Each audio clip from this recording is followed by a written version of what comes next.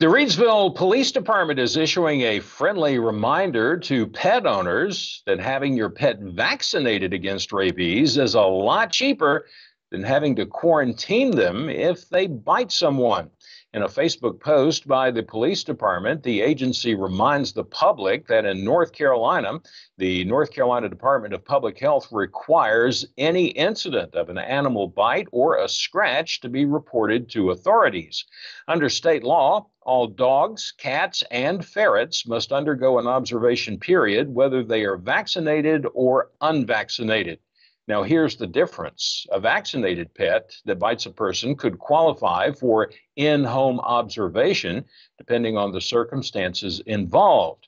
In a case of an unvaccinated pet, the animal must be held for observation under quarantine, and that must be at an approved facility, such as a local animal shelter or a veterinary clinic. The police department reminds you that this could be very expensive, something to consider. In the local area, a rabies vaccination can cost as little as $10. But if a pet has to be put under quarantine observation for 10 days, that could cost up to around $300. The Reidsville Police Department says not to let that happen to you. Get your pets vaccinated and make sure you keep their vaccines current. If you have any questions regarding rabies vaccinations, make sure you ask at your local veterinary clinic or you can contact your local animal control officer.